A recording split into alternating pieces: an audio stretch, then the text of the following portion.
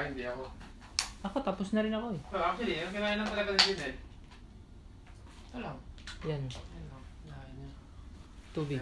Konting blueberries. Ayan. Mga 1 pound na lang. Pound na lang.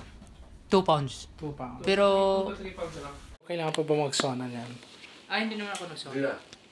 Nag-ano lang ako, takbo. Treadmill. Treadmill.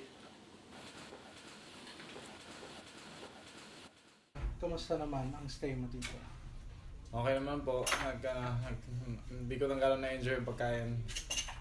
Kasi nagkakat ako ng weight eh. Medyo malaki din ang cut ko. I mean, kaya naman. Um, Ano bang weight nyo ngayon? nasa sa ano siguro ngayon? 7, morning today, nasa 70.7 ako eh. Oh, sipo na.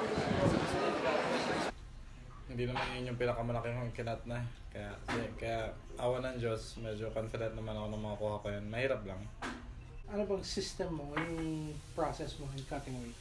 Um, ginag ginagawa, ginagawa ko ano yung, yung way ni GSP mag-diet, mag-weight cut. No, so, sugar, carbs, fruits, and starch in 5 days. Tapos, water loading in the first 2 3 days. Tapos, ano, fats, only, only fats and only protein every meal. Tapos, then mag-dehydrate ako in the last, in in the night before the weigh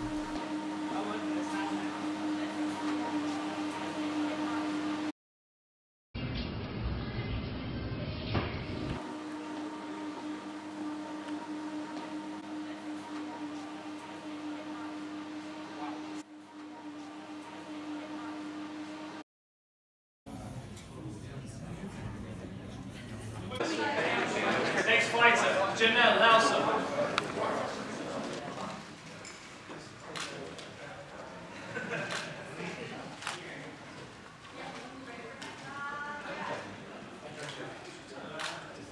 One twenty-six.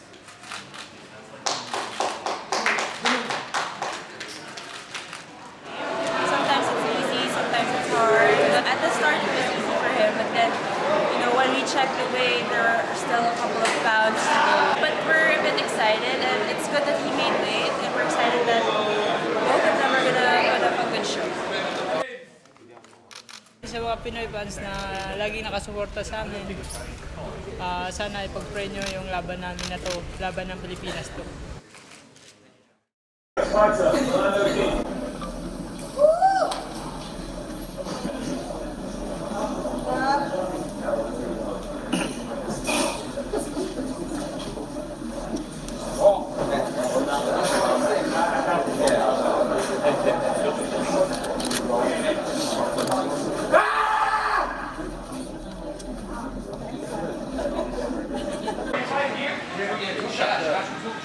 Sir, congrats!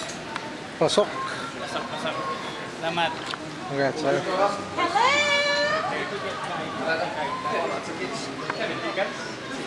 Kumusta yung weight cut? Quite hard, quite hard. How does it feel now na to make weight? Happy, satisfying, pero if the mission is not done yet, my work is not done yet. Meron pa akong kailangan kailangan tapusin tomorrow. Making weight is just part of my pro- of, part of the the the, the job pero hindi ko pa natapos talaga yung trabaho ko ngayon dito sa Singapore. Kinaka ang trabaho ko is tomorrow to win. It's not time to celebrate muna.